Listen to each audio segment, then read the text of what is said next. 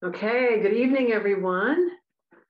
I guess this is a really important topic to all of us. Um, welcome to our first training event of spring 2022. I'm Dr. Julie Tennille, Principal Investigator and Project Director for our HRSA funded program we've branded EPIC for Education and Programming and Integrated Care. And as always, I'd like to express my tremendous gratitude to the team behind the scenes. This includes, of course, Wendy Myers, our grant program coordinator, Fatima Bakayoko, our graduate assistant, Sarah Fisher, our research assistant, and Dr. Cheryl Neal McFall, co-PI and program evaluator. We are so excited about our presenters tonight and we'll introduce them momentarily. So the goal of this research and training grant is to expand numbers of well-trained MSW, MED school counseling, and PsyD professionals working with children, adolescents, and transitional age youth in high need and high demand areas capable of delivering evidence-based health services, behavioral health services in our region and beyond. Let me tell you about our great presenters tonight that everybody is so excited to hear from. So first we have Lisa Christian, LCSW, who is Director of Counseling Services at the Anti-Violence Partnership of Philadelphia. Lisa has over 25 years of experience working with diverse urban families and provides individual and group therapy to adults and adolescents at AVP's main office in the community and also in Philadelphia schools. She works closely with the Philadelphia District Attorney's Office CARES program to respond to the clinical needs of homicide co-victims in close proximity to the time of the crime. Lisa is a licensed clinical social worker and received her MSW from Temple University. Liz Dreibelbis is clinical director and co-founder of A Haven and is a registered board certified art therapist and licensed professional counselor. Liz earned her BFA in sculpture with a concentration in art therapy from University of the Arts and her master's in creative arts therapies from Drexel University. Liz began volunteering for hospice while in college, and this is where Liz learned that she had a passion for supporting families through grief. Before A Haven, Liz continued volunteering while obtaining both degrees until she became a children's bereavement counselor. Dr. Angela Lavery is a special, special woman and is one of our own at West Chester University. Dr. Lavery is an associate professor with the Graduate Social Work Department at West Chester University. She's a licensed clinical social worker and a fellow in thanatology through the Association for Death Education and Counseling. Dr. Lavery earned her PhD at the University of Denver, and prior to that, she worked as a hospice social worker and grief and bereavement counselor. Earlier in her career, she worked with survivors of crime as well as those awaiting felony sentencing. We are so grateful to you three and look forward to tonight's presentation. Thank you. Um, and I am going to, at this moment, stop sharing my screen and have Dr. Lavery share her screen. And before we do that, I'm gonna, before I share my screen, we just wanted to share that, um, you know, since we're gonna be discussing the topic of grief and loss, and um, we just wanna briefly mention the importance of caring for oneself. It's not unusual, right, to have strong emotions or feelings that may pop up. Um, when we discuss you know such topics. We've all in one way or the other been impacted by losses throughout our life. So be gentle with yourself. Don't judge it if it does. Do what you need to do to care for you. Lisa and, and liz do you have any other thoughts on that? Or did i cover that okay or? Okay you did just fine. Okay all right. So i'm going to go ahead and share my screen so we can kind of look at um, our objectives and get started. Okay, so here tonight, we're gonna first just briefly and quickly go over the different types of loss children and adolescents and their families and communities can experience. Um, we'll also look into at some point the importance of integrative grief and bereavement care for children, adolescents, and families, as well as um, ways that we can work together to provide support to them. And how we can collaborate with parents and caregivers and the school system throughout care planning, as well as including follow-up care.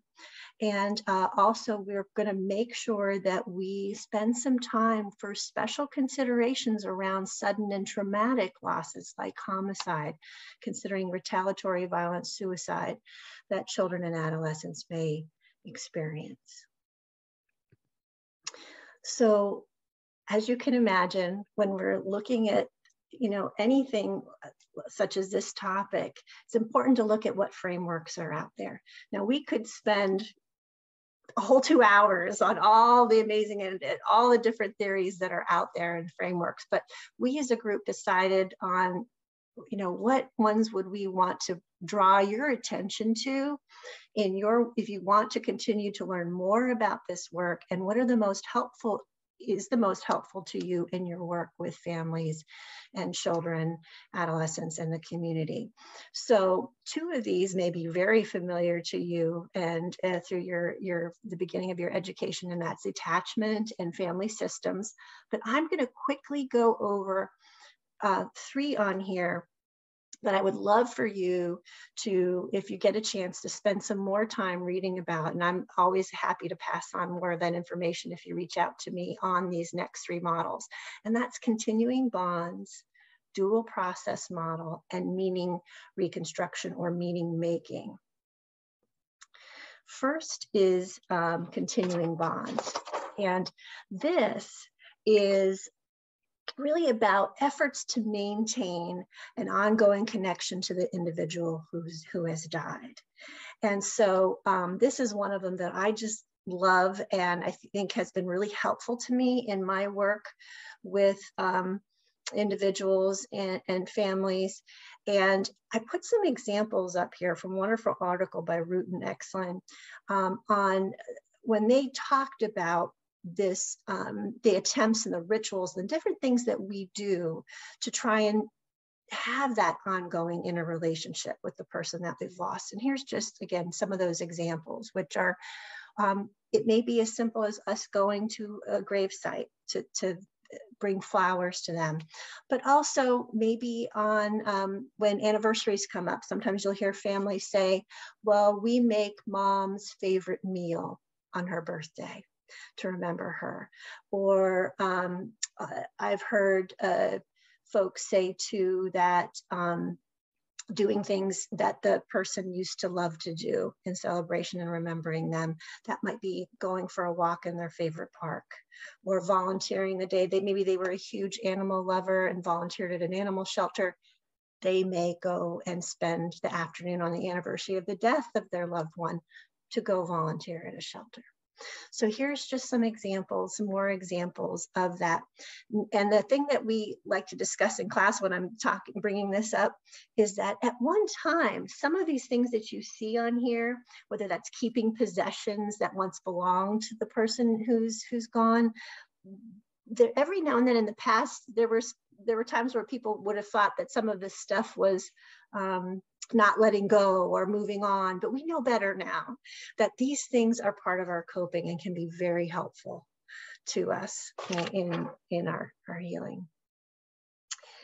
So um, the other one that I really feel is really important to uh, bring up with folks um, and, and students is the dual process model when I'm teaching about grief and loss. And then you kind of think of um, a fan, right, that oscillates, that goes back and forth that you turn on in your room. And, and this is about um, the importance of thinking about two different coping processes, as you see here, a loss-oriented one and a restoration oriented one.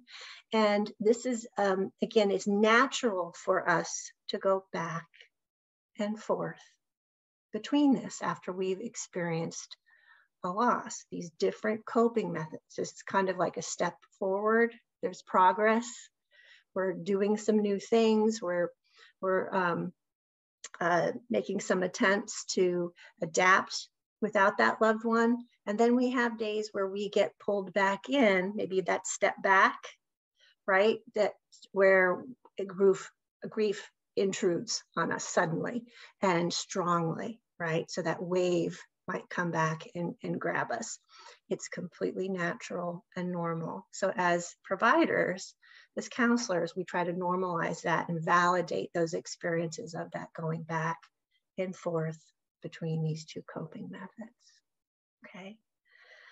And then um, the last model that I just wanted to call your attention to before I go back and ask Lisa and Liz if they have any other thoughts on these models or any of them that we're going over is the um, meaning reconstruction. And again, this is um, a huge theory and framework that I would um, recommend to learn more about. I have um, attended Robert Neimeyer's trainings across the country and, and got most of his books, and he is a wonderful educator on, around grief and loss. And um, so I'm going to read you just a few things from, from his work. And this is again about making sense out of, um, you know, we just as people, we like to make sense out of events in our life, right? No matter what it is. That's how our brains are, you know? And so um, this is, it's a natural thing that the desire of us to kind of try and get some structure or coherence on the disorder or chaotic things that happen to us from time to time. But I wanted to write, read something to you quick. Um, according to Neimeyer, meaning reconstruction includes the attempt to find or create new meaning for the life of the survivor as well as the death of the loved one. And um, he, he says that there's three principles at the heart of processes of meaning reconstruction. And, and one is that the grieving entails re reaffirming or reconstructing a world of meaning that has been challenged by loss. Two, adaptation to bereavement typically involves redefining rather than relinquishing um, a continued bond with the deceased. And then we, there's this third element that he says is really important when he does meaning reconstruction in session with folks, and that's the use of narratives, restoring and storytelling. Um, uh, so he, that's one of the ways that he does that. So before I kind of exit this brief, very brief, uh, you know, review of these important models for you to consider in your work with children and adolescents and families, Lisa and Liz, do you have any other thoughts on these or any other models you'd call attention to for folks? Yeah, well, when you were talking about continuing bonds, it's something that I think for children and teens, I mean, if you've ever heard about grief is love with nowhere to go. And I think what happens, I mean, specifically with death, but any change is when when something disappears or isn't there anymore, you know, where does all that love go? And so continuing bonds is a is a beautiful way to continue to share and communicate with that person or you know something that changed yes definitely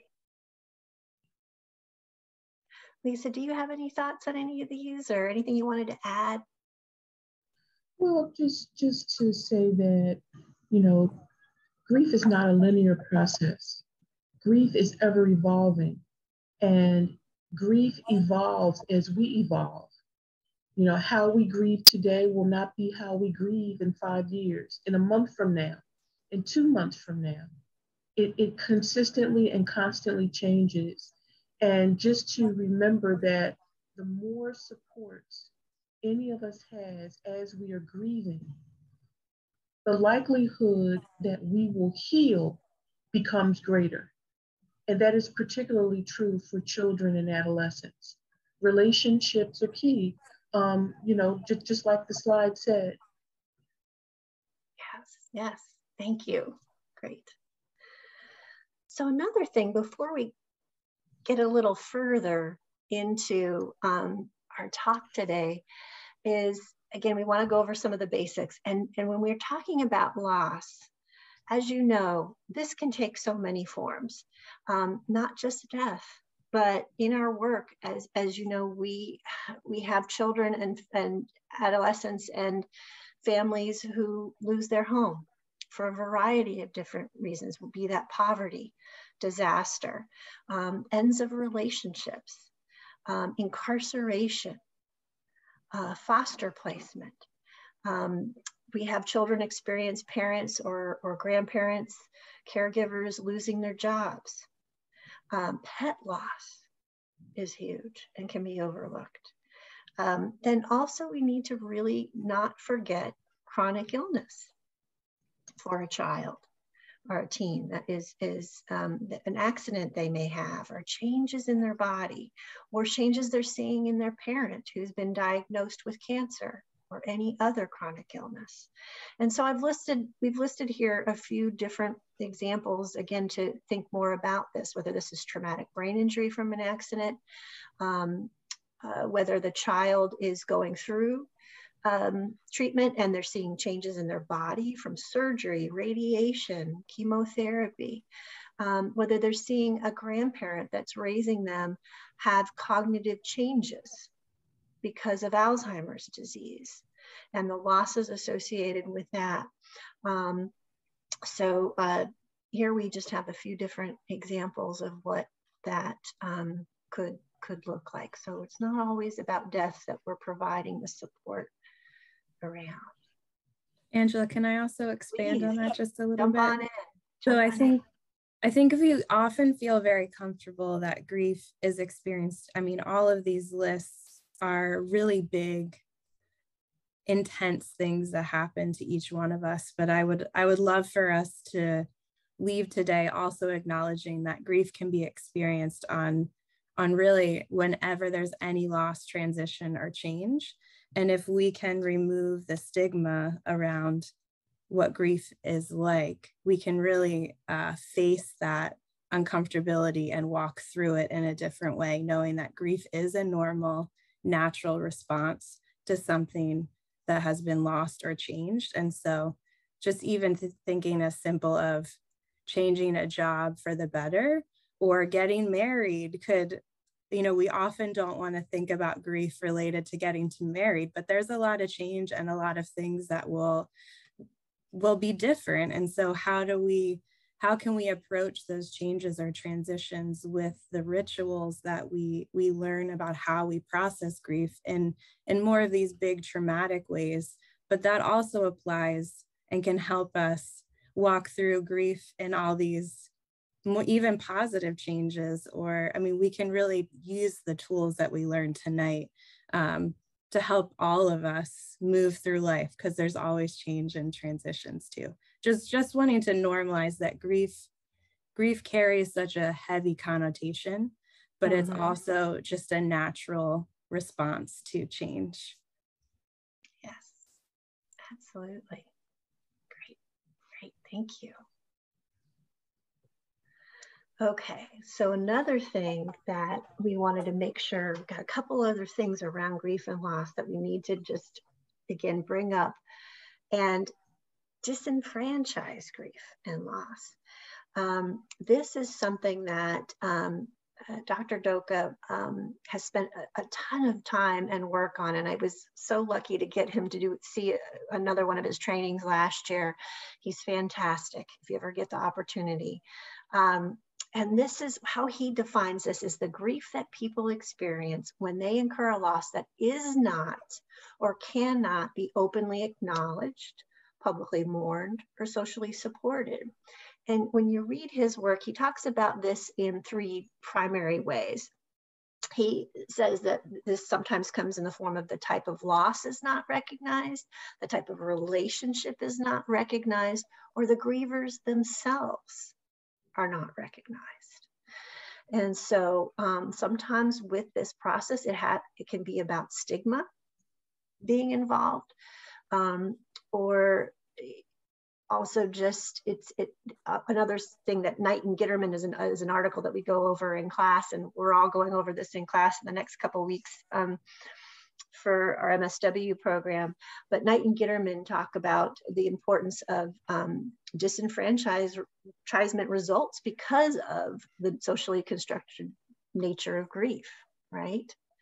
So um, uh, we were talking this week about suicide quite a bit in class and how um, again the stigma involved with that loss and um, the hesitation sometimes about folks and, and approaching families and and um, how to uh, reach out to them after a suicide loss. And even that we still as a society sometimes even whisper suicide or, or don't even say the word sometimes when we're communicating about that loss. So does this does this make sense, Lisa or, or Liz? Do you have any other thoughts on the disenfranchisement of some losses?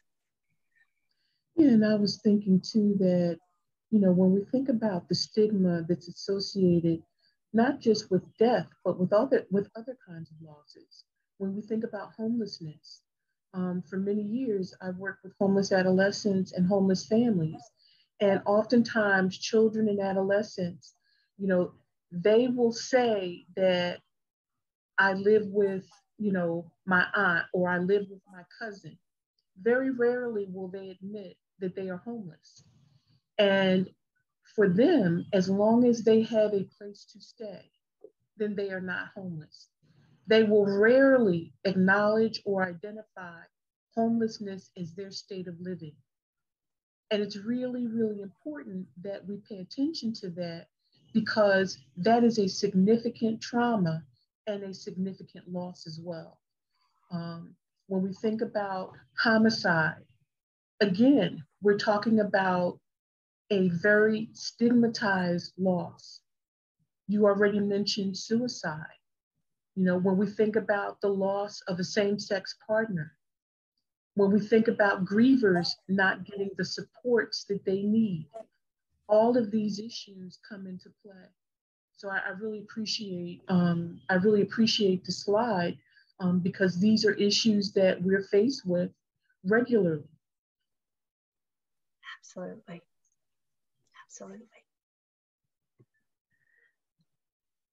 So I'm going to turn it over to Lisa for a little bit here. About social determinants of health and the ACEs study.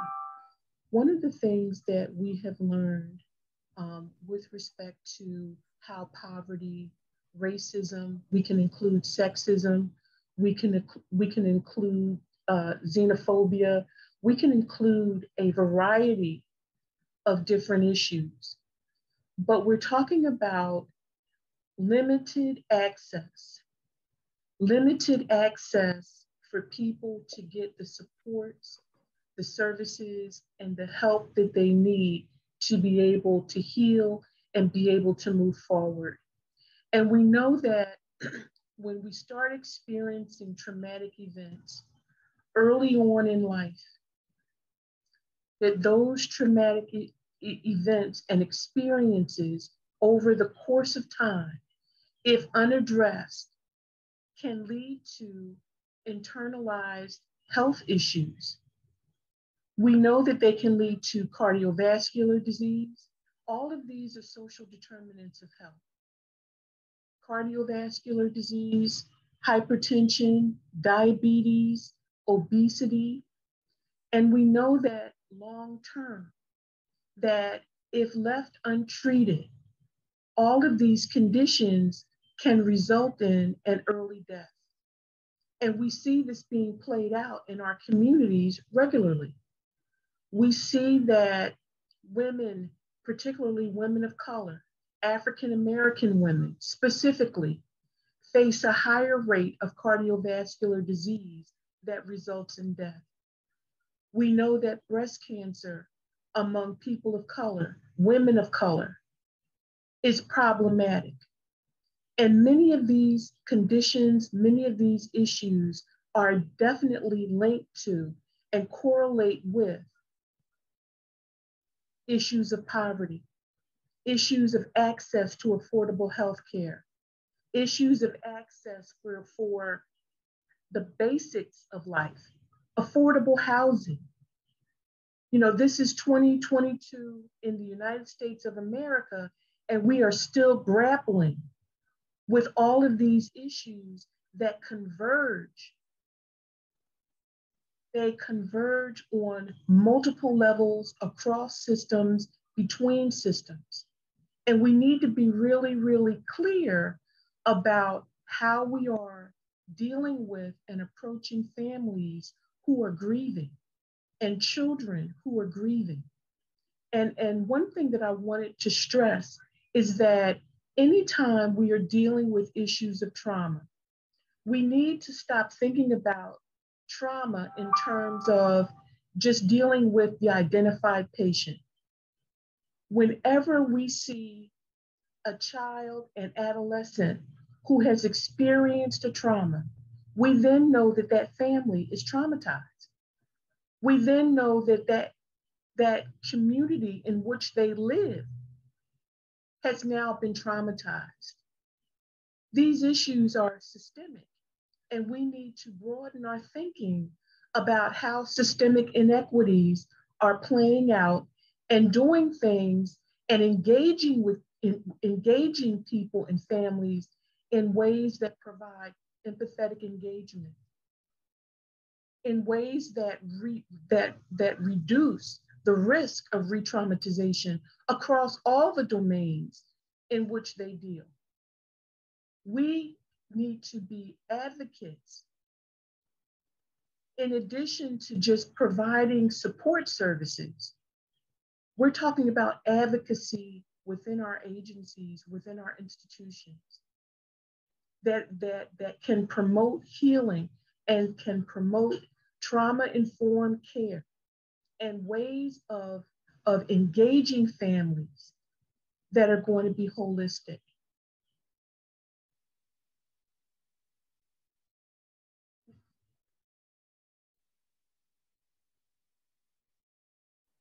I promise I'll get to the next slide. It's being a little stubborn at the moment. Here, let me try something. I think it was it sits for a long time every now and then it'll uh, do this to me. Hold on a second. Okay, I'm gonna share again.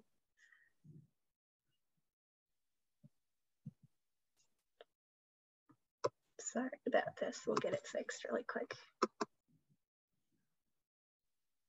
There we go.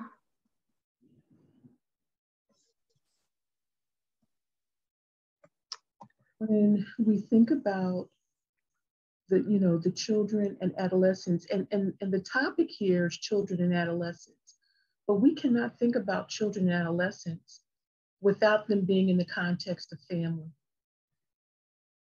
It is imperative that we keep children, adolescents, males, particularly males of color, as we do our work we need to keep them in the context of the family and not remove them from that context because many of our services do just that. And when we think about intersectionality, we know that people live multiple layered identities based on historical context. And they operate along, between and along structures of power and people can be simultaneous, people can simultaneously experience oppression and privilege at the same time. Could you go to the next slide, please? We added this slide about trauma and social location to make a point that when we are working with families, we know that we can no longer talk about families just with the concept of how that how they experience an adverse ex experience, how children or adolescents had an adverse experience. This is the original. On my left is the original ACEs pyramid. But we know through research, we know that we can no longer just think about families with respect to how adverse childhood experiences began. We need to think about families with respect to their historical trauma, their embodiment of historical trauma. For Native Americans, we know that they experienced genocide in this country. We know that for African Americans, they experienced, they were enslaved, and that enslavement has ripple effects through the generations. For Native Americans, we know that it has ripple effects through the generations. For Japanese Americans, same thing. Ripple effects through the generations. And we need to keep that in context to what is going on now with families. We can no longer, we no longer have the luxury of saying that children are only impacted by an adverse experience. We have to start with that generational context. And then we have to pay attention to implicit bias. We have to pay attention to microaggressions. And we have to pay attention to our own biases because we all have them. We come with bias. And we have to make sure that we can reflect on what that bias is and be able to process it and manage it in a way that does not cause harm to the people in which we're working. And after we, you know, begin to process and think about the historical context, we then want to go to what is the local context? What are people experiencing now? What are the inequities that people are experiencing? And then we can think about what allostatic load is. Allostatic load, you know, when we're talking about social determinants of health, we're talking about that cumulative effect that all of these experiences have had on each and every one of us, not just our clients, but on all of us. And once we understand how those experiences impact us, we need to then begin engaging in self care. We need to teach our families to engage in self care. How are we going about um, providing or getting access to medical care, preventative care? It's crucial and when we're talking about issues of loss and grief, one of the things that we do at AVP is encourage anyone who has experienced the sudden traumatic loss of a friend, family member, um, acquaintance. We need to encourage people say, hey, listen, I need you to get your blood pressure checked. I need you to think about how you're internalizing these experiences that you've had? How are you internalizing the grief that you're experiencing? And for people who don't have health care, for people who say, well, look, I don't have a primary care. Prior to COVID, what we were doing is encouraging people, listen, if you live near a, Wal- a Walgreens, Rite Aid, or CVS, they all have free blood pressure monitoring. Go in there, sit down, put your arm in a cuff, let it register your blood pressure. And you explain to people 120 over 80 is normal. If that bottom number is elevating to 90 or, or above, then you're running into the territory of high blood pressure.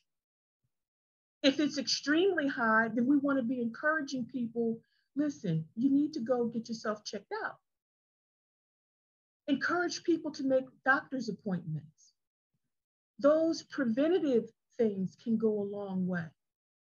And then we want to talk about how these experiences can impact them long term.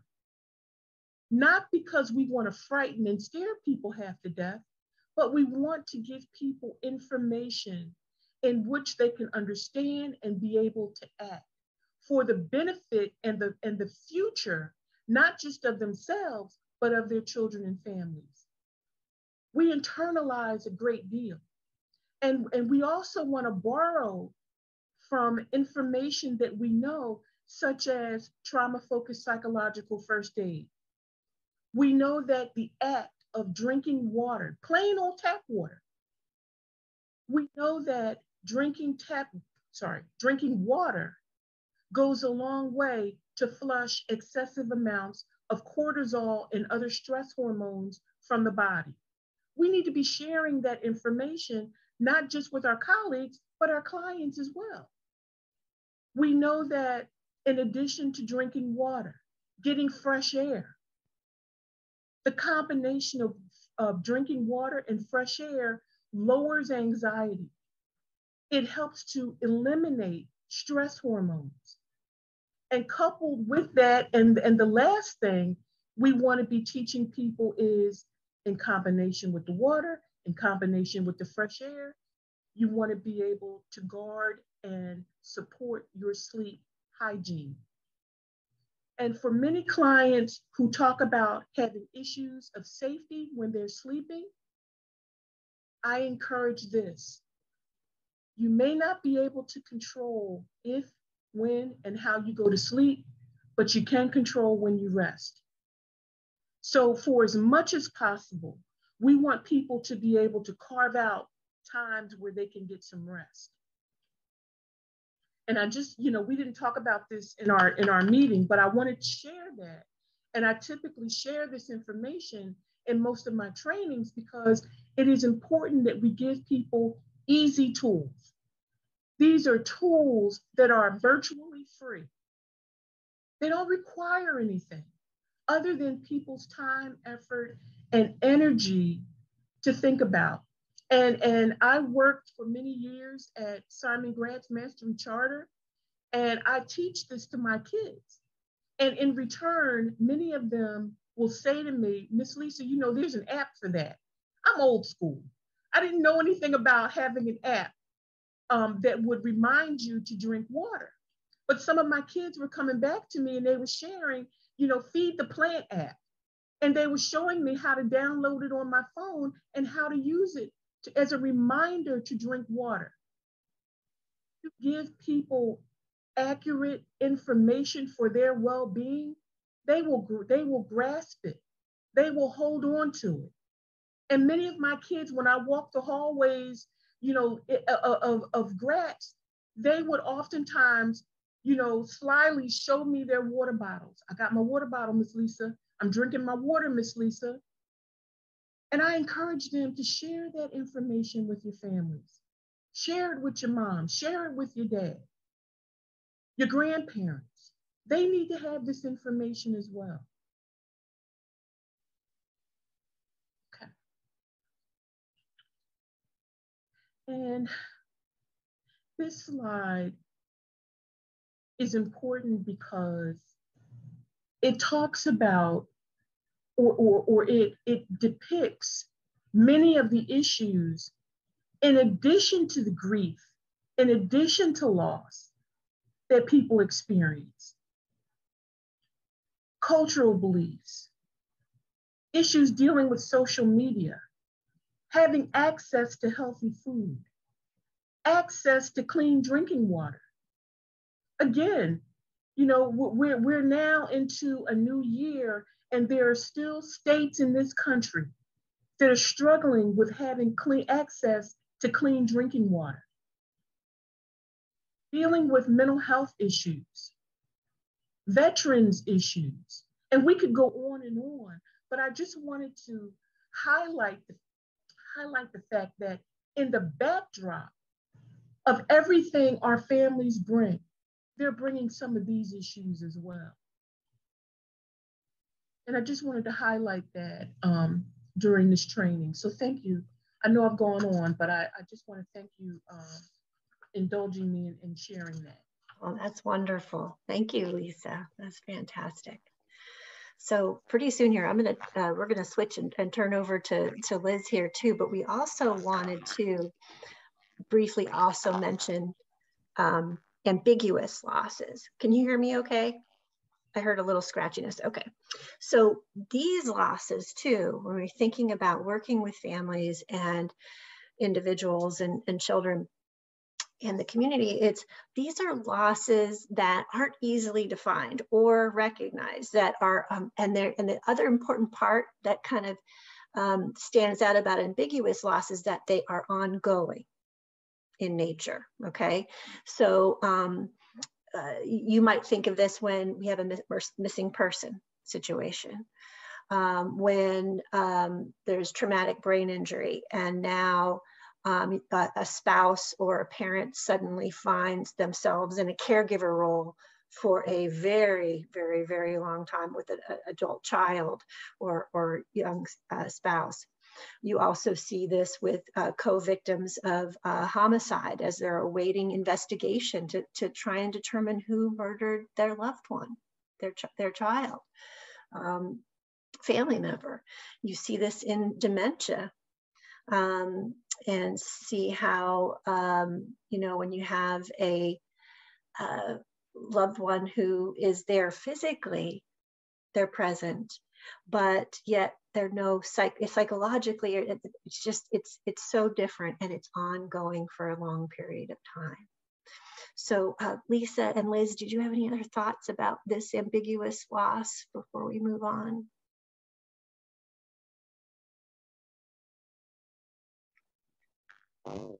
Say that you know, we're talking about co-victims of homicide, um, I just want to reiterate the fact that in the city of Philadelphia, as with many urban cities, homicides are not being resolved through the arrest. You know, we can talk about oftentimes wanting families to have closure.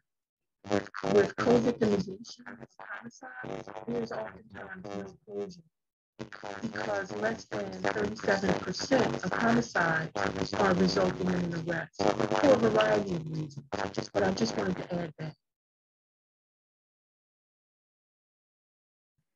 You were a little fuzzy, Lisa. We'll see if that continues. If not, we may have you, we may have to have you, um, we'll get our team on it and see if we can get it fixed. If not, we may have to have you log in and out again. We'll see. They'll, they'll let you know. But it was re really fuzzy. But thank you. I think we were able to make some of that out. We can do a follow up too um, later if anyone had trouble hearing that. Okay, here we go. Let's see.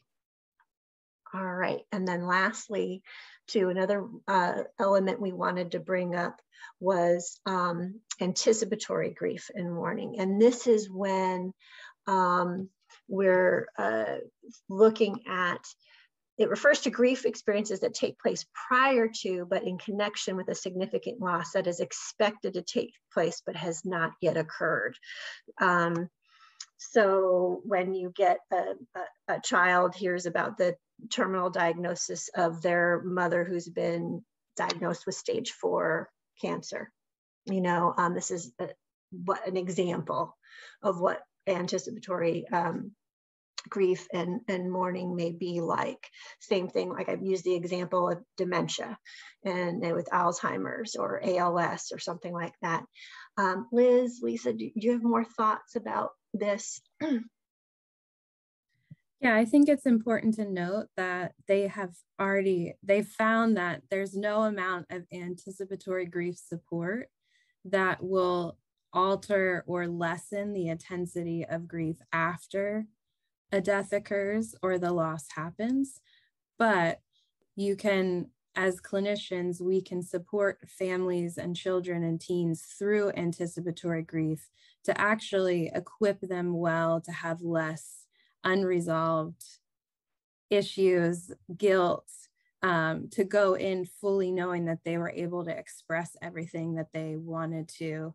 Um, so, though it doesn't change the actual grief experience or the intensity of the grief pain that's experienced afterwards, it can help uh, lessen the the amount of it, if that makes sense. So, um, it's a it's a it's a tough space to support someone because on the outside it looks like you could do a lot of work, but you also you can never especially with a child you can never go into like we need to start grieving your mother now. Well your mother's not dead yet and so we also don't want to have that happen either. So it's a tough it's a tough place to to walk with a family or a child, but it can really be also a very beautiful place where you can provide a lot of support and ways to um, say everything and have no regrets. Yes, absolutely. All right, let's see here. There we go. So yeah, we we um, just wanted to also, you know, look at just remind ourselves about again back to everything that we're considering here um, when we're talking about grief, grief and loss and epidemics is is part of that. Um, we wanted to make sure we're, we're recognizing the impact of um, overdose deaths, poverty, gun violence, and everything we've been living through, you know, these last two years with the with the pandemic and all the different losses and the impact on our children and adolescents for all those things that they have lost as a result of that. Any other thoughts here, Lisa and Liz?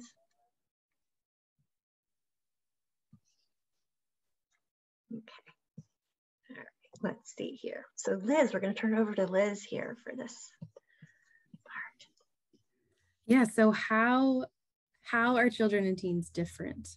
Um, I think it's really easy to assume that children are experiencing grief the same way we are because that's what we know.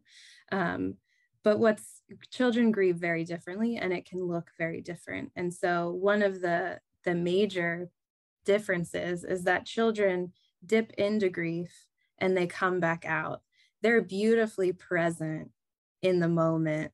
And if they're reminded of, of the loss, of the change, then they'll dip into that grief and they'll come out. The younger they are, maybe a quicker dip and they come back up. Um, whereas adults, we really just marinate in the grief and it, it permeates every aspect of our life.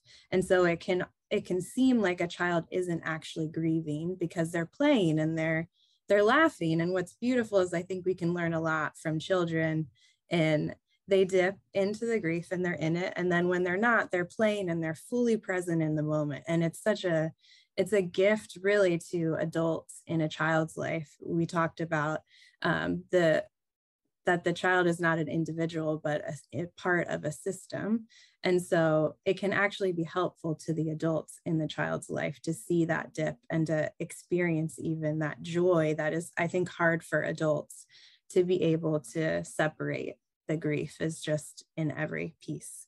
Um, cognitive development directly correlates to how a child grieves. And so it's really their understanding of grief and what their understanding of death will impact what they understand and know and what the grief looks like.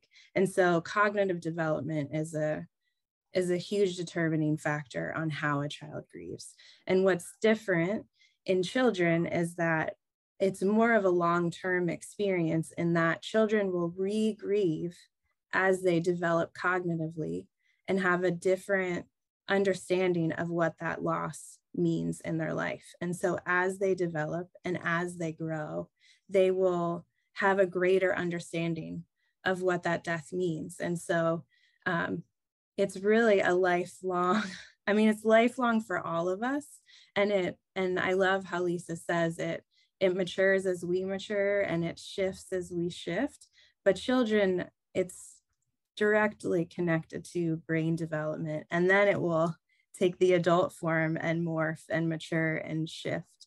Um, and so i think it's important for us to not expect children to follow that same year timeline that we often give adults because you know you talk about the child's dad dies when they're five and then they hit middle school and they have a deeper understanding of what that means in their life and then graduation and there's huge milestones that happen in a child's life and so you could see in, intense grief experiences throughout their whole school year time in school from kindergarten to senior year of high school and i think that's important to note because a death could occur in first grade, but you may not see the behavior or the typical grief responses until fifth grade, until middle school, until high school.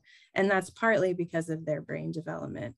And so, as we work with children, I think it's important to remember that as we learn that there was a death experience or a significant traumatic loss in their life, that just because this year they seem to be okay doesn't mean that they will for from now on too because it will develop and change as they grow.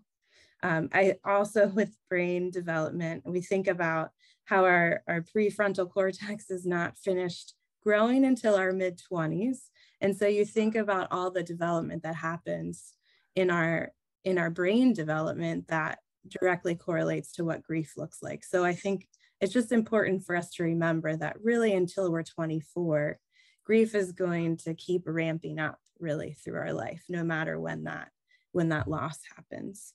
Um, and we think about the grief experience too, the impulses and everything that the, the prefrontal cortex helps us process grief is not is not really functioning well until we're in our mid 20s. So the expectation on teens grieving, they seem very adult, and yet there's a lot of development in how they experience grief. And and grief is experienced so intensely that they have less ability to filter their impulses too. And so you think about the behavior of teens and what you can see just to be mindful that you know we can't expect them to be with functioning with a fully functioning brain in grief.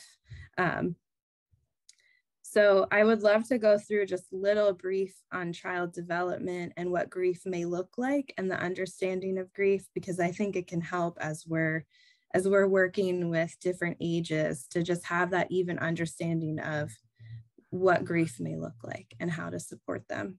What I find is very fascinating is that grief, a baby can grieve. So if a child is able to look the object permanence, if a child is able to look for an object that disappears, they're old enough to grieve. So that's about six months old that even babies grieve.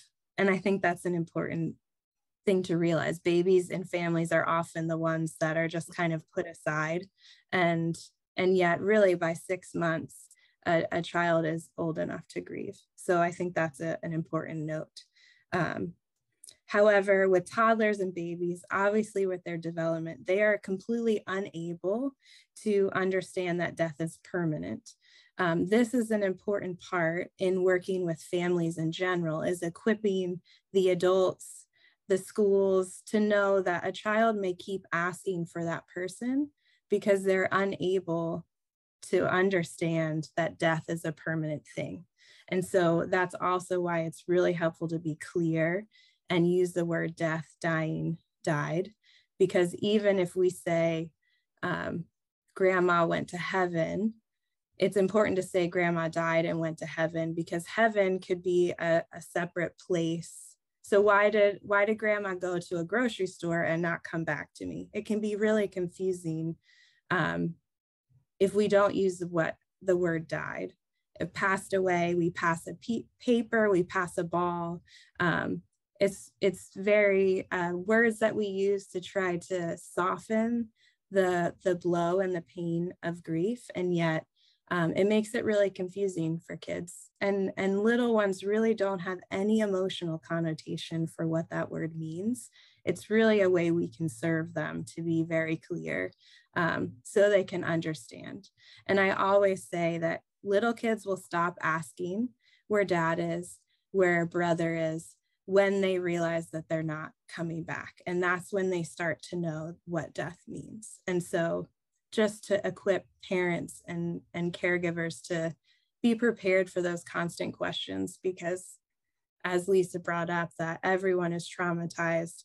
So are the adults in the room and they may not want to be triggered in the moment when the little one's asking where that person is. And so to be mindful of, of all of those pieces. Um, so to be prepared for repetitive questions ma- maintaining a routine is really important for babies and toddlers. Babies obviously can't communicate. They're fully at the emotional whims of everyone. And so maintaining their routines can be a basic um, structure that can help them feel safe and just play, play it out and, and be with them. Uh, play is how they process. We all know this. Behavior is how kids communicate and play is how they process. And so meeting them where they are um, and knowing that they will dip in and out really quickly. We've had I've had very intense conversations talking to children about their dad telling, um, helping mom talk about dad dying by suicide. And, um, you know, as an adult, you're expecting this big, intense conversation. And, and the little one was like, oh, okay, uh, when is he coming home? And then trying to explain that he died. And then, and then they're playing because that's all they need in that moment and they'll ask questions when they're confused and being able to meet them where they are and answer the questions clearly and simply when they ask it is way better than trying to give them more information because they won't be able to hear it all at once. And the older that they get, the more information they can hold.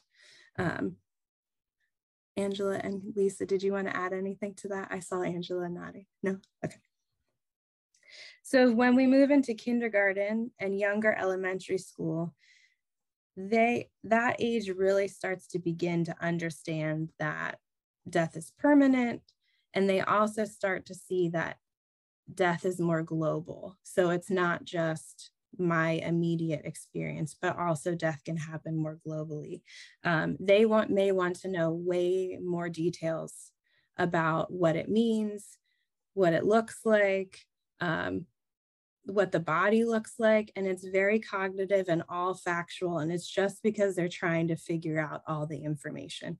And so um, it may be actually less emotional and more cognitive in just trying to figure out what does this mean? And does this happen to everyone? We see a lot more um, clinginess to other members of the family because now we know that death doesn't just happen to this person but could happen to you and you and you and you. And so not really wanting to let caregivers out of their sight um, because they don't want that to happen again. And so um, magical thinking is still there. And so you can really, I mean, the stress and the anxiety can build um, and you see a lot of clinginess. And that's normal and natural because they're starting to realize that death is global. And so it's, it's bigger than just um, their experience. Um, giving them a space and and letting them ask questions i think it's really important for us to meet a child where they are and ask and answer the the information that they actually need to feel safe um, and and the information that they really need. I think we often want to say the right thing and and not mess up those conversations because we feel a lot of weight. Um, but i don't I don't think we can ever fully understand what's happening in a child's mind to to meet how can we help them feel safe and heard and seen? It's answering their questions and and really stopping at that. Um, i go back to the the example of sitting with a mom and helping the mom uh, tell her two daughters that their dad died by suicide.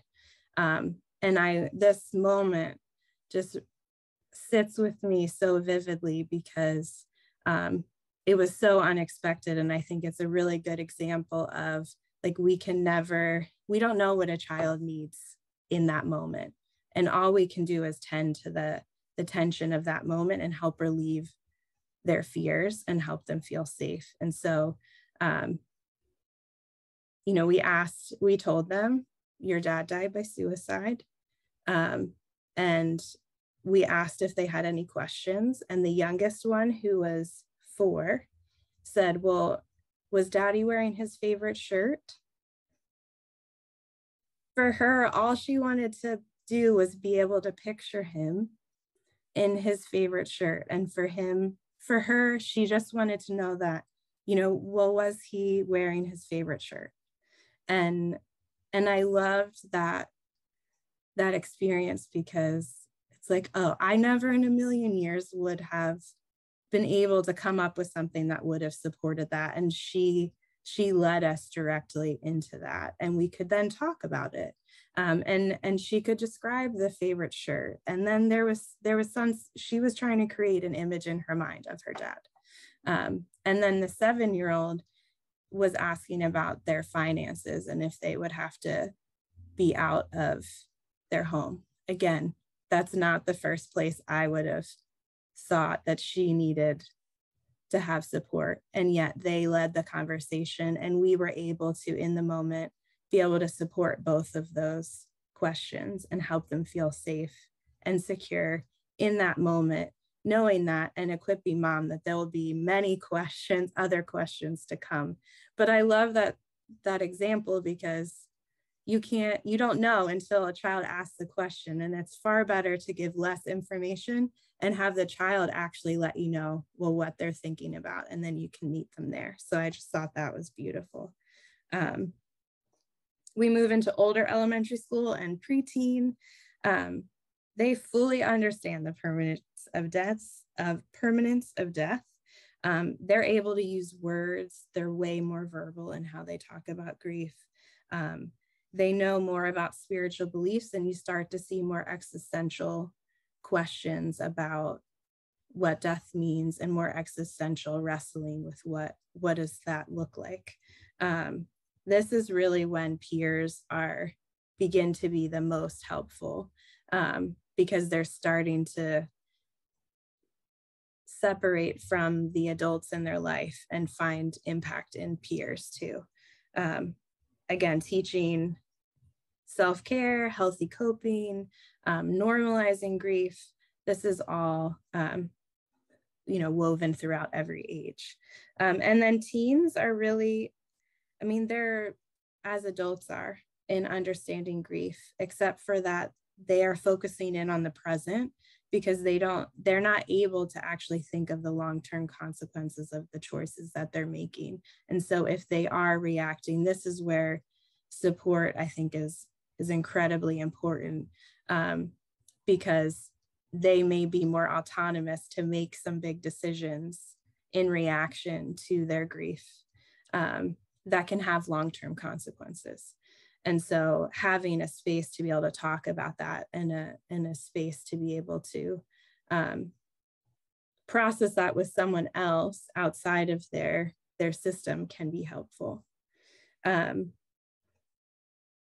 so just a couple tips to be present and listen. I think we we underestimate just how much a relationship can provide to children in grief and knowing that not all children have a, a healthy environment to go back to. And so um, you know what can we do as clinicians to provide that safe space for them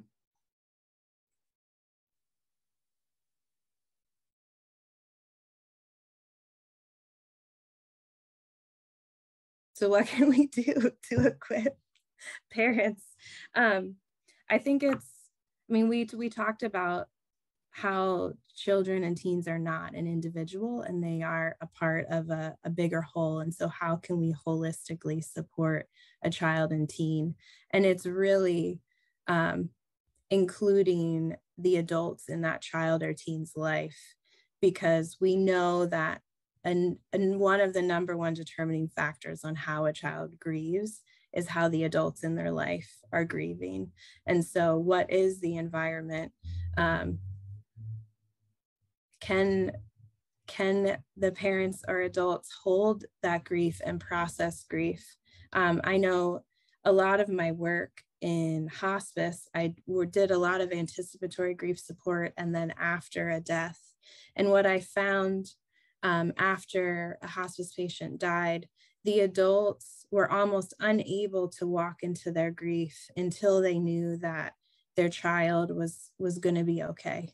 I think um, we are hardwired and have a natural instinct which is why our human nature has lasted this long to protect our young and to protect children from pain.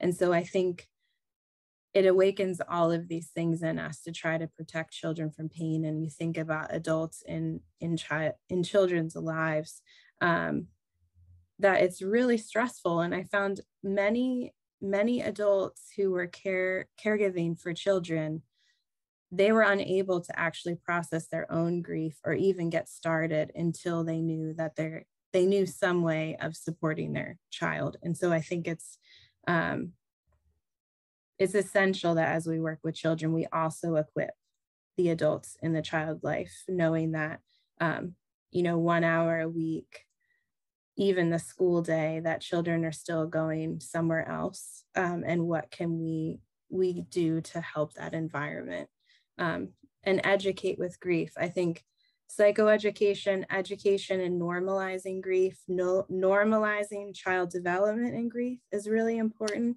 and also just calling out that it is really hard to see a child hurt but grief is normal and natural and and being able to see that not all behaviors are pathological um, when it's related to grief and i think we can often see behaviors and and fast forward into some really intense behaviors and choices and it does start with like a quick little behavior shift um, but can we normalize the experience of grief for children for parents and caregivers and grandparents um, and give and empower them to be able to talk about their loved one.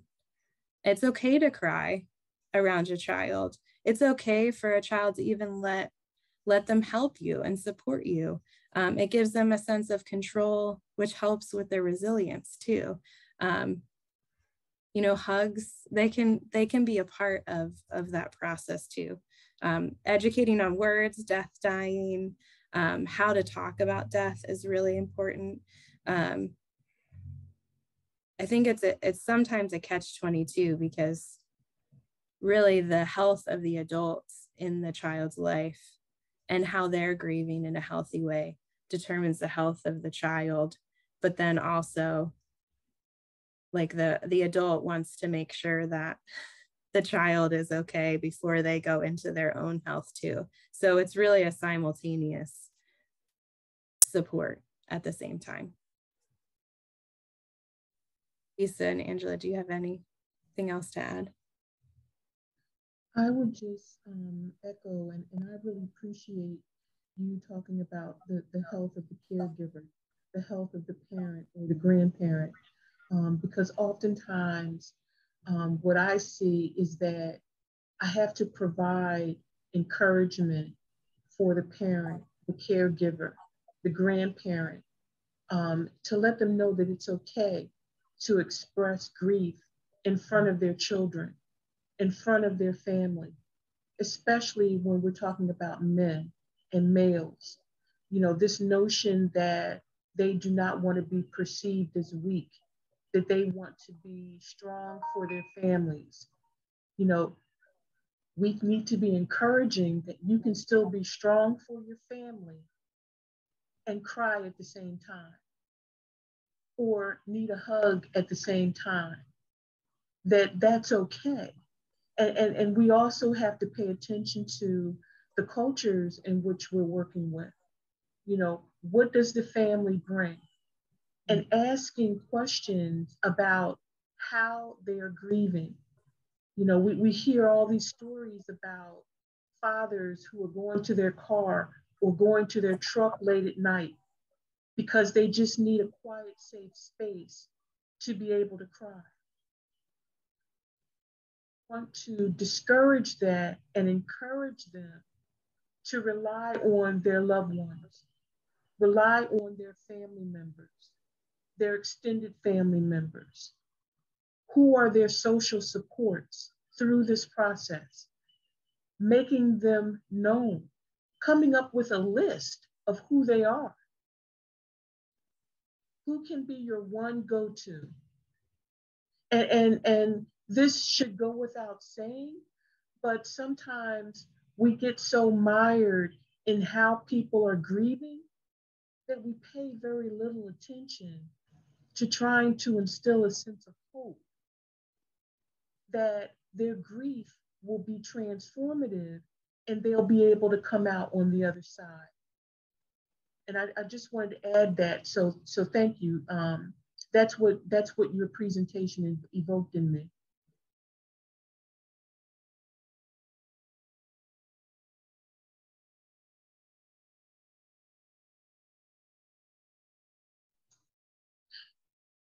Um, when we're talking about sudden traumatic loss, um, especially as it relates to issues of homicide, suicide, and retaliatory violence, I know that the schools in particular grapple with these issues. And I just want to highlight um, a few things here. Anytime we're dealing with loved ones family members, extended family members of someone who has died as a result of homicide. They are called co victims of homicide. They are co victims because they share in that process. They share in that grief process. And not just the grief, but the trauma that goes along with it. When we're talking about when we're talking about schools, we know that oftentimes adolescents in particular find out about homicides of peers. They find out about the homicide or the shooting of someone that they care about literally while they're in school. And we have to make special consideration for that and understand that schools need training, not just in trauma, but how will schools respond to these issues collectively in a way that is not re traumatizing, in a way that respects what has occurred and how the school can deal with this in a way that is going to be holistic in a way that will take under consideration not just what the student is going through, but what the peers are going through and how the teachers are experiencing these kinds of issues. The teachers, the support staff, the administrators, anytime there is a homicide of a student, all of these people are impacted. Crossing guards are impacted. And we need to be able, each school system needs to be able to come up with a way to be able to process these issues and talk about these issues and have a strategy for being able to move forward in letting all of the student body know what's going on. And I also wanted to pay special attention to issues of retaliatory violence because we know that in the city of Philadelphia, particularly, particularly last July, I'm sorry, particularly in, in, in January from 2021 until May of 2021, we know that a large percentage of homicides that occurred in the city of Philadelphia were as a direct result of retaliatory violence. And we need to be able to have access to supports that the schools can tap into to address issues of retaliatory violence once we know what is happening. If we are aware, if we are made aware that a student or students are thinking about engaging in behavior that will lead to retaliatory violence, we need to have access to supports in real time. And I just want to let you know, and, and this is going to, we're going to talk about this in more detail later, but there are agencies and organizations in the city that we can tap into that can help with retaliatory issues in real time. And, and also with issues of suicide. When, when, when a student, when a staff person, um, or a teacher has committed suicide, we need to, again, have strategies for schools. You know, it used to be a question of, well, you know, if something happens. We are beyond that point. We know that it's not a question of if, it is a question of when. I don't know a school in the city of Philadelphia that has not been impacted by the homicide of a student or their loved one or a staff person. And there are specific things that can be put in place. And we have helped and worked with and collaborated with schools across the city to be able to come up with plans and strategies that will address these issues. And I, I just wanted to speak to that. Um, and, and if we could go to the next slide, that would be helpful. This is a quote um, by Dr. Bruce Perry um, in his book called um, "The Boy Who," I'm, I'm, sorry, "The Boy Who Thought He Was a Dog." Um, he speaks to this, to what we now know is crucial for the healing of children and adolescents. The more sound supports in terms of family, in terms of extended family, caregivers, coaches, um, faith-based uh, faith-based communities, the more supports we can give to children, no matter what treatment modality we choose to engage them with, that has the most impact with respect to how children heal and how children and adolescents move forward. And we need to keep that in mind um, as we're working with children. We constantly want to think about who are their social supports? Who are the resources that we can use, even if it's just one or two? We still need to be able to identify that. Uh, could you go to the next slide, please? Um, there's an exercise that we want to present. Um, and it's entitled Scooter's Family. And I'm going to read you a case scenario. Um, and I, I, want you, as I'm reading it, to really think systemically, not just about how the death of Scooter's father is impacting Scooter, but I want you to think systemically how this death is impacting other people as we read, as I read um, the scenario to you. And I also want you to think about some questions. I want you to think about identifying who needs support and who needs intervention.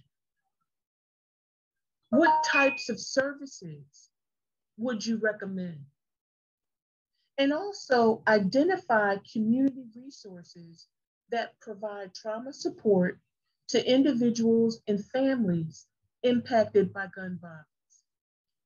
So I'm going to read it now, and um, I, I'm curious as to how people are going to process this. And the case reads as follows. Scooter is an 11 year old African American child who is enrolled in the fifth grade at a Mastery Charter School in walking distance of his home in the Germantown section of the city. He came to the attention of his school social work team after a few of his close peers reported that his father was the victim of a fatal shooting after being hit by gunfire while on his way home from work. Two of those peers live on the same block as Scooter and share a close relationship. Excuse me, one second, I'm sorry.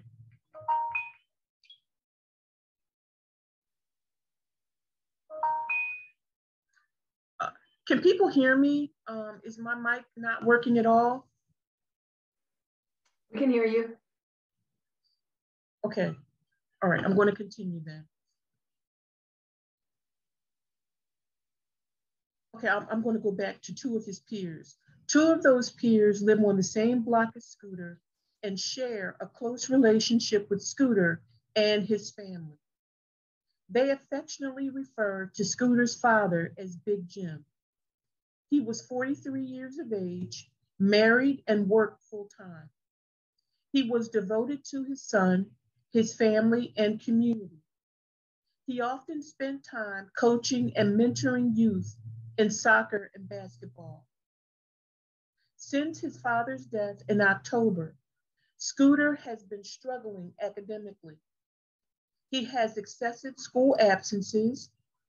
When he does attend school, he's often irritable, argumentative, and hypervigilant. In addition, he reports somatic complaints resulting in calls being made to his mother. The school social worker has been in contact with his mother, who expressed concern that he is becoming more distant from his siblings and peers. He is also wetting the bed at night and occasionally has toileting accidents during the day. He cries easily, and when asked how he is doing, he reports that it doesn't matter. Her oldest son, Jim Jr., age 14, is having issues as well. He expresses a sense of foreshortened life expectancy and often talks about wanting to retaliate against the people he perceives as responsible for the death of his father. His school attendance has been sporadic, and he too displays an I don't care attitude. His mother is fearful for her son's safety because she does not know what else to do. And as we think about this case, as we think about the issues that are confronting this family, I'm just curious as to how we are identifying who needs support and intervention. And when I asked you to think about these issues systemically, know that Scooter is the identified patient or the identified person in this system. But I want you to recall what I had talked about earlier in the presentation. That anytime you have a traumatized child or adolescent, you then have a traumatized family. You then have a traumatized block or neighborhood. And you then have a traumatized community. Scooter is definitely traumatized, but so is Scooter's siblings. So are the siblings who reported to the teachers and to the school staff that Scooter's father was a victim of a homicide. So that system can definitely use intervention and support. We know that when we're talking about the mother having concerns for not just Scooter, but her other son and her other children as well. They need support and intervention. We know that the families on the block in which he lived, in which the family lived, needs intervention and support. And we also know that the kids that he coached, the kids that he mentored, can use uh, support and intervention. And that's what I mean about thinking systemically. This notion that only the identified person in a family system gets help and support. We have to do away with that notion. And when we're talking about working with kids in schools, many of us know that oftentimes a kid who may be identified as a co victim, be it homicide, be it suicide, whatever it is, we know that they oftentimes have other siblings who may be attending schools in different parts of the city. And not only attending different schools, but also they may be in different school systems. And when that happens, we have to have ways of communicating with those other schools to find out if all of the children are receiving similar supports based on the relationship they have with the family system. Imperative to do that.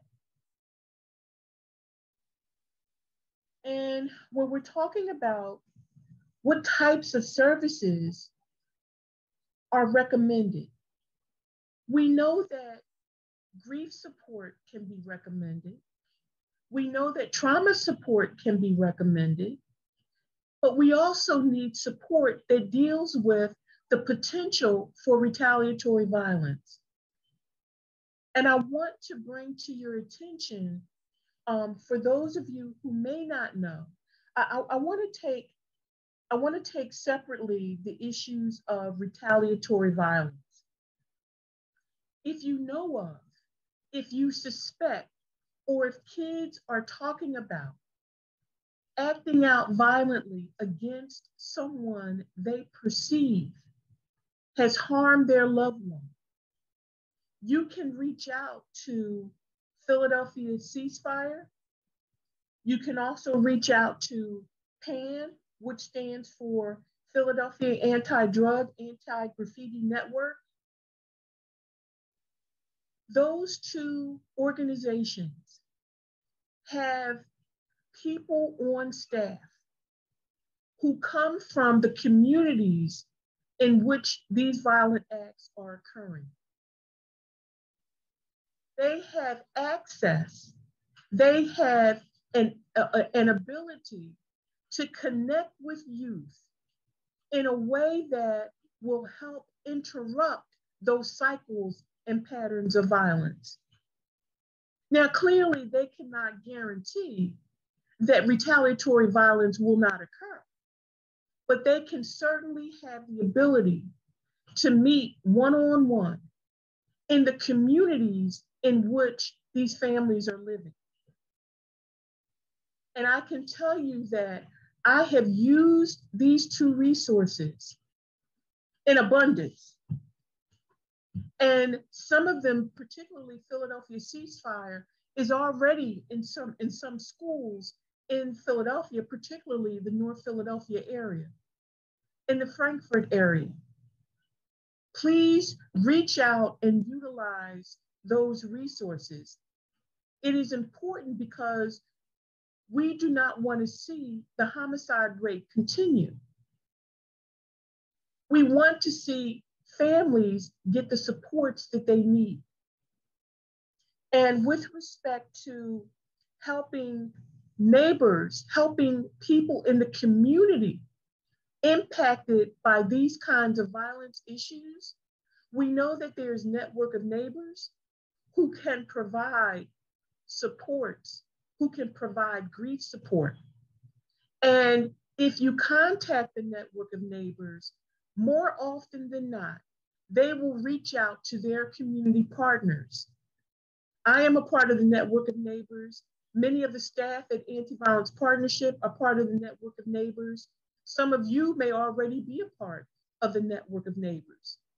And the networks, their contact information is listed under resources for this, for this presentation.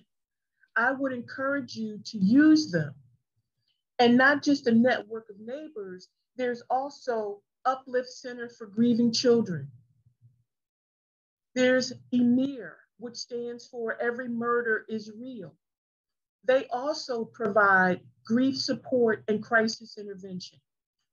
And I can tell you that for my time, my past six and a half years at AVP, I have worked with all of these organizations in communities where these issues are occurring. And we come together to provide the supports that are needed in real time. And I also want to remind people, especially people who are working with families and communities.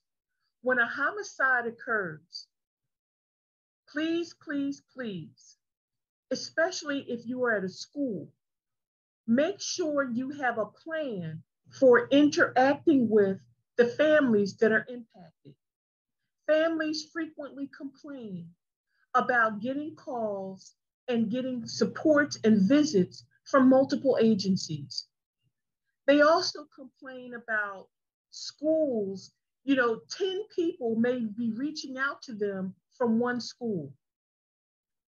Pick one person, one designated person, or two people, especially if you're going to the home, to be the ones who are going to be the point of contact for the family.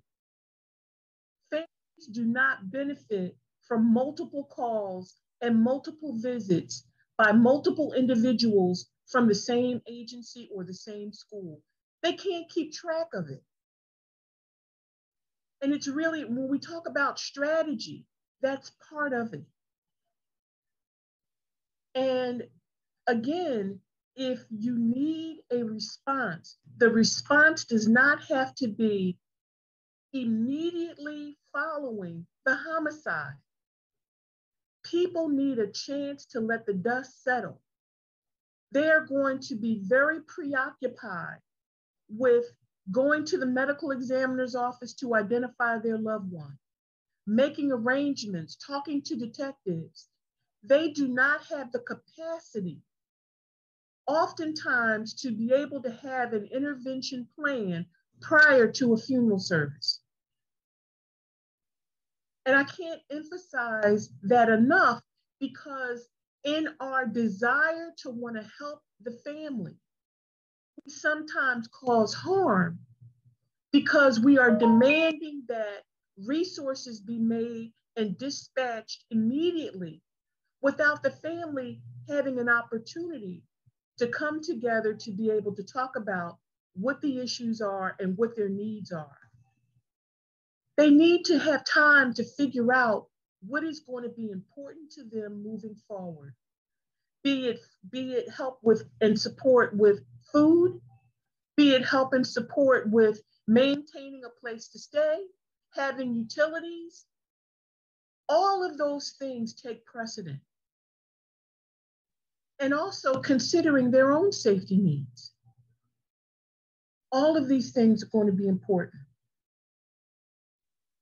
And I'm going to, um, I'm going, I'm, looking at the um, screen that, the slide that um, Angela put up. Thank you, Angela.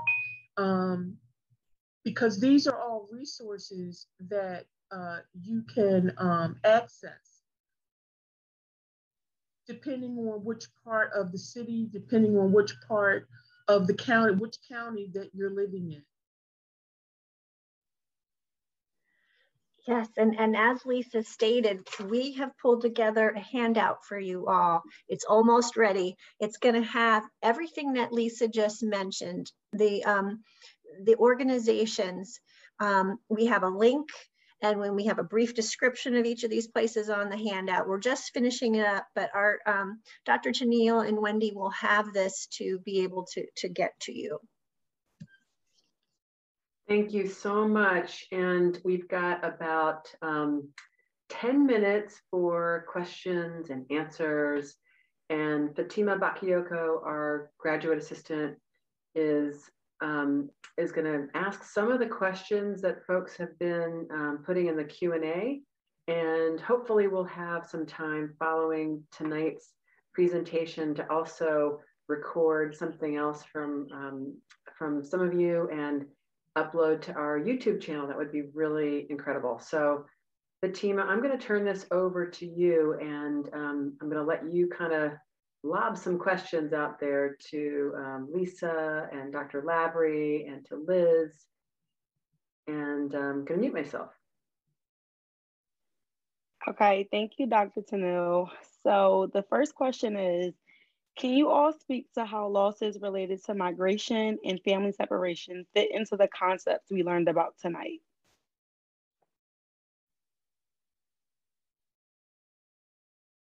know that um, we know that migration issues, um, when we're talking about systemic inequities, we know that particularly this past year and a half, we have seen a surge um, in anti-immigrant, um, in, anti-immigration issues, um, particularly as it relates to people of color.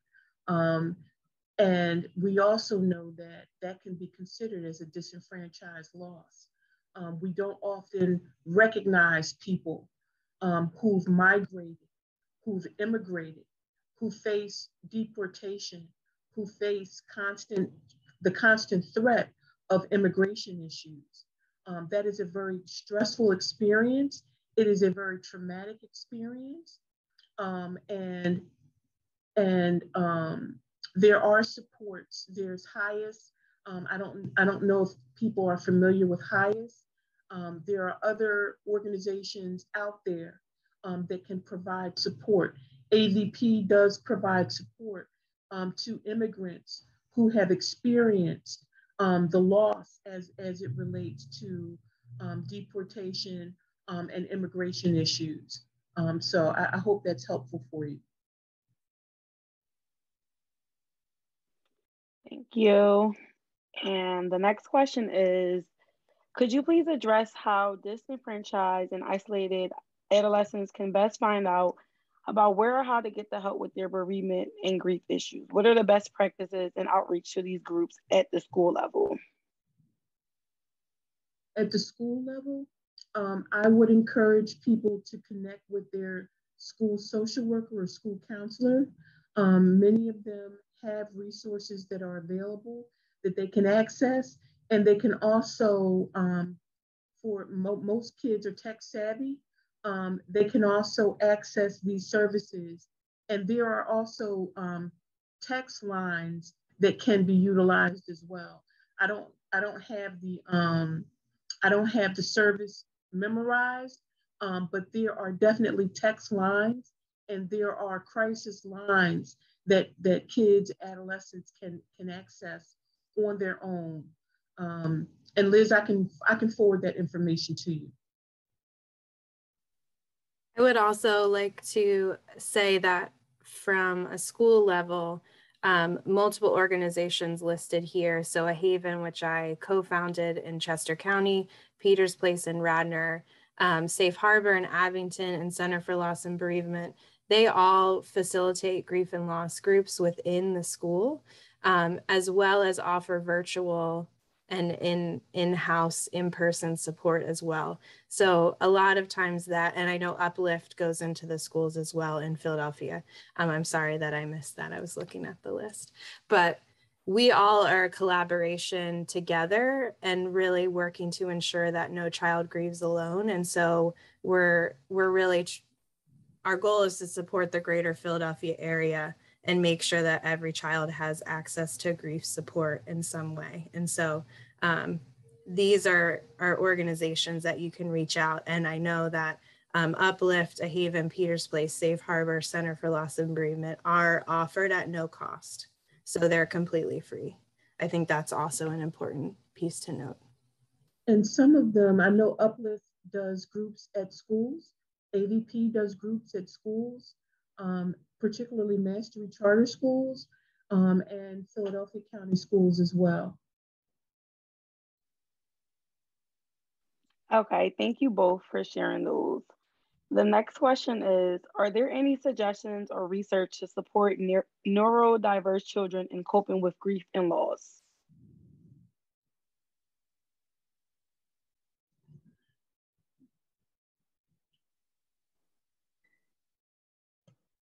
I have some information on this and I wish I had it prepared for tonight, but, and I, I don't know what Lisa and Liz's experiences are, but um, yeah, I could um, pull up, uh, I have a really cool um, article specifically in relation to working with schools.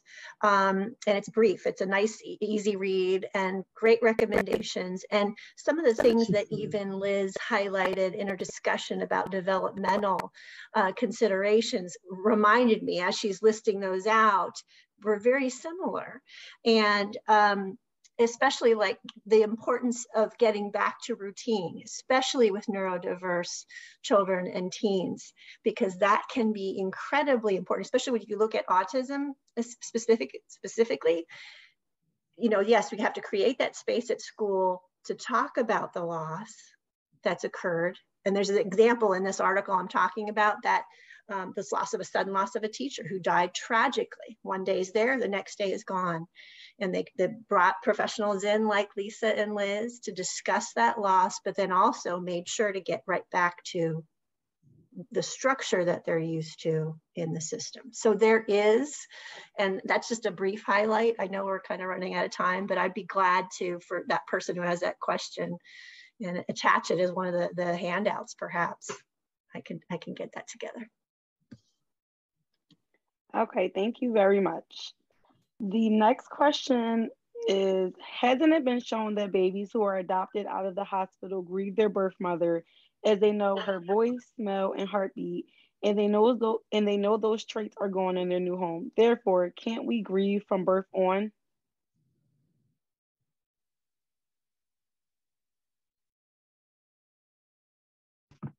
There, finding the mute. Um, I love that that was brought up because we know that we can have trauma and nonverbal trauma before we even know how to speak. Um, and I would say yes. I think there is grief, and what that speaks what that speaks to is as you develop and you you learn how to verbalize that grief that that's when that grief may start to express it's not saying that grief is not present but that you can you can experience that grief. I mean i'm even just thinking about i have a six month old i'm only now really starting to see their her temperament. I can even understand her temperament. And so that doesn't mean that there hasn't been trauma before that but i'm only now just starting to be able to experience her in a different way and and connect with her in a different way. And so i think um, yes i agree that grief i think if we if we talk about it like that i think yes grief can happen even before trauma can happen even before. Um, i think how we can support an individual may have to wait a little bit longer um, as a child grows to be able to support that grief. Does that make sense Yes, thank you. So I also have a follow-up question today in thinking about children who have been adopted or removed from their biological family. How do you support this differently, if any way? I mean, I think I think grief is one thing, but I think also if we think of, you know, what Lisa keeps talking about is this identified patient, that this child is also in a new environment. And is that environment a safe place for them to express that grief? Um, and I would see that's where it differs in in the experience of of that. Lisa, would you want to speak to that? No, I totally agree. The how okay. you support grief is, I think grief can be supported and experienced no matter what happened in a similar way. Um, but it's dependent on the environment around them.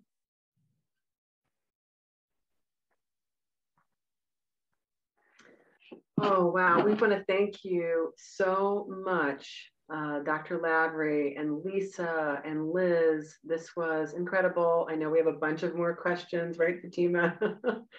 um, and I think we're going to get you to meet with us again at some time in the future to tap into some of those great, wonderful questions that we didn't have a chance to get to tonight. But we really want to thank you for your important work and um, just let you know how appreciative we are, especially in this time when we're trying to figure out these unusual ways of presenting information and dealing with technical issues and all those things. So thank you, thank you, thank you, the three of you.